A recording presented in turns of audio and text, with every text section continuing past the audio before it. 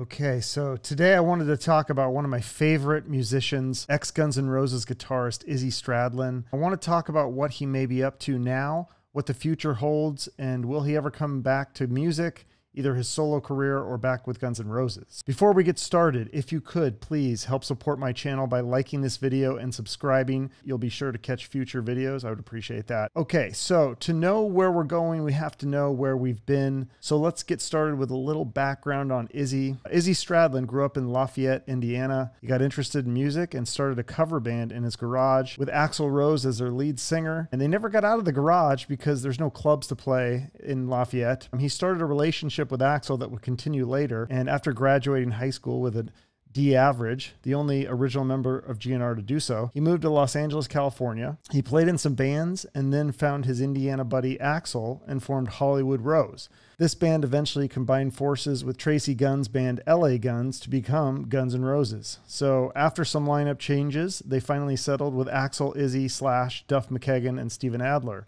And the band released their debut, Appetite for Destruction, in July 1987. It went on to sell 28 million copies worldwide. But as the success grew, so did tensions with the band.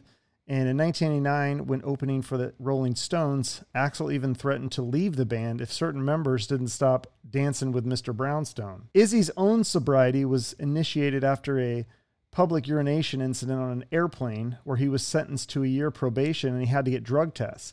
So once he got sober, his outlook kind of changed. He became disillusioned with the band. He had issues with other members being late, being on drugs, and some financial things upset him as well. So he said, quote, when you're fucked up, you're more likely to put up with things you wouldn't normally put up with. After releasing the double Use Your Illusions albums and doing some shows, he finally decided to leave and form his own band, the Juju Hounds. The album with the Juju Hounds got great reviews, but interestingly enough, it's rumored that he actually turned down an opening spot on a Bon Jovi tour and a guest spot on Saturday Night Live while he was with the Juju Hounds. After briefly returning to GNR to fill in for some shows, he took a hiatus from music for a while and focused on some other things other passions, skateboarding, dirt bikes, and other stuff. Uh, he'd later continue on with the solo career and release more albums. But from what I can tell, uh, he didn't tour that much or at all and did very little live shows as a solo artist. He would occasionally jump on stage with GNR or even Velvet Revolver. He was also originally set up to actually join Velvet Revolver. He bailed on Velvet Revolver and also bailed on the GNR reunion. And the reason that I'm told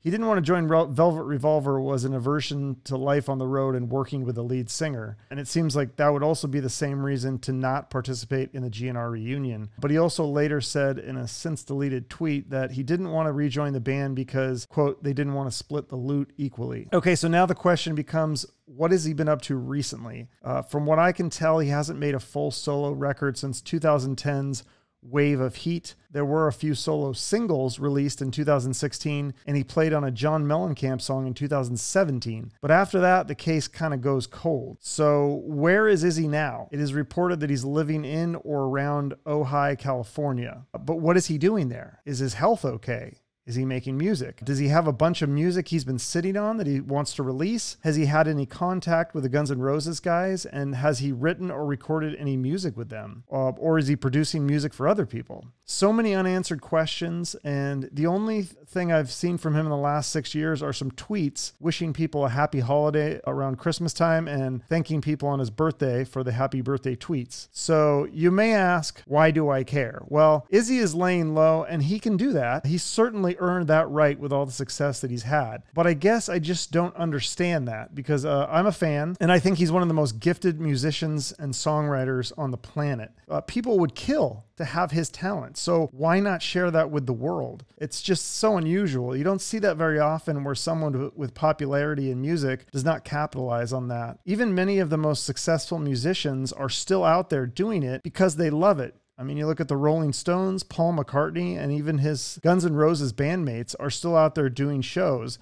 And I don't think they have to. I'm sure they could all just retire and travel for fun, spend time with their family or whatever. Uh, but they're still doing music. And I'm sure some people will say it's for the money. But I mean, how much money do you really need? I think it's because they enjoy it and it gives them a sense of purpose. Many people retire from jobs they hate and they're happier, but eventually, I think even in retirement, they have to have some sense of purpose. Maybe that purpose is simply being a father or grandfather or a husband or friend. But oftentimes, I think the happiest people are the ones who have something more, even if it's simply some community service or mentoring someone else or maybe woodworking in their garage, but they're doing something that makes life meaningful and bringing something into this world that benefits others. And I feel like with Izzy Stradlin, that has to be music. He's just too talented to waste that. And the world could use some good music right now. We are so divided in so many ways, and he could make a new record that could really be a reason for people to get excited and have something to look forward to. Or imagine if Izzy got back with Guns N' Roses, at least to record a few songs, if not a full album. That could be something to bring people together. The whole country, if not the whole world, could get behind that record. Maybe Izzy is burnt out on music and he doesn't want to write or record or perform. And maybe he's found happiness in other areas of his life. Maybe he discovered Buddhist philosophy or yoga or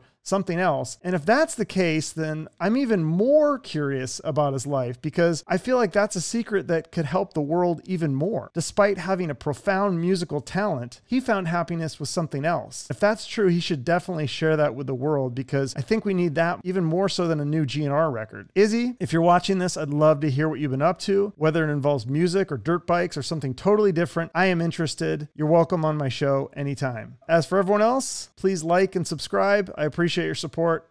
Have a great day.